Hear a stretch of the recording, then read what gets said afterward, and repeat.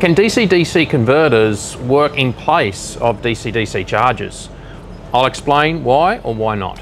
G'day, I'm John from Springers Solar and today we want to talk to you about DC-DC converters, DC-DC chargers, when to use them, what applications and the differences between all the different units. So let's get into it and have a go at that. So as you, as you see, we've got a quite a range of different DC-DC converters in front of me. Um, at Springers, we also have a huge range of 12, 24 volt appliances for your automotive applications. So please click the link below and check out our range of products on our website. Today, we just want to get into it, explain the differences really between a DC-DC converter and a DC-DC charger and what applications are best to use the products in. We do get a lot of people ask us if we can use DC-DC converters to charge batteries, and we will answer that question shortly. Um, so we'll start off with just going into first what, what the main purpose of the different units are. Okay, so this one here is a DC-DC converter. So its main role is purely to convert your DC-DC voltage, okay? So this one here, it's a 1224, so it takes 12 volts in and it converts it to 24 volts out. The main purpose of something like this is obviously if you have a 12 volt battery, you hook it up to the input side of this unit and you've got a 24 volt appliance you want to run. Okay, so you hook this to your 12 volt battery, you hook the other side to your 24 volt appliance and you run your appliance off this unit. So this is just converting 12 volt to 24 volt. This is the main purpose of a DC-DC converter. Now, the other one is what we call a DC-DC charger. Now, as the name suggests, it is a battery charger, okay? So it is designed to take power, say from your start battery and convert it to charge an auxiliary battery that you're running in your boat, your motorhome or your camper van. Okay, so this is the same as any other battery charger except for where it gets its power source from. Okay, so dedicated battery charger, converter. Okay, so that's the main difference is charge your battery, convert your DC voltage to run an appliance. So that is going to be what these products were designed to do. Now, like I said, a lot of people do want to use the converter to charge their battery because they are a cheaper item.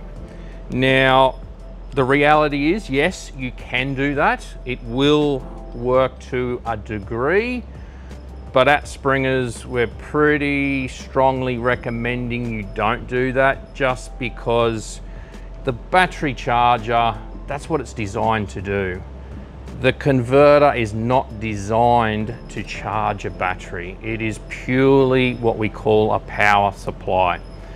Yes, it will put power into a battery, but it doesn't do it as well as a battery charger. It doesn't have the battery charging algorithms. It doesn't have the smarts. It literally just outputs a set voltage, a set amps, and that's it.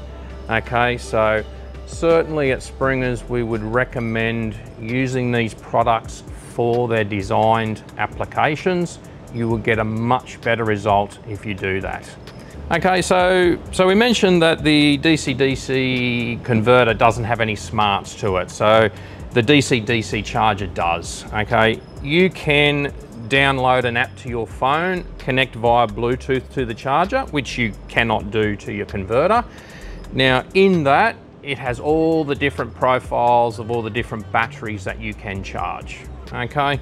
So you can set a very specific profile for your exact battery.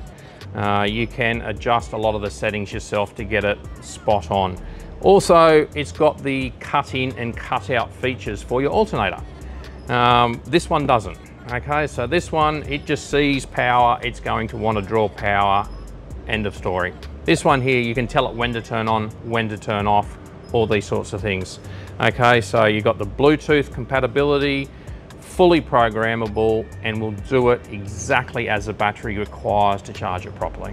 So now, now I'd like to discuss the other thing that we get asked a lot is the isolated versus non-isolated models. Okay, so both the converter and the charger have isolated and non-isolated versions.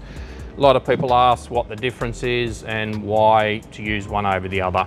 Uh, look, the reality is the difference, if you can see here, is the isolated has two negative uh, cable connections. So they're isolated. Your input and your output negative are isolated.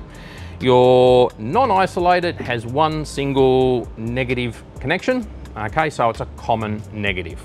So this has three terminals, that has four terminals. Now, in reality, it doesn't really make a difference which one you use. They do the same job.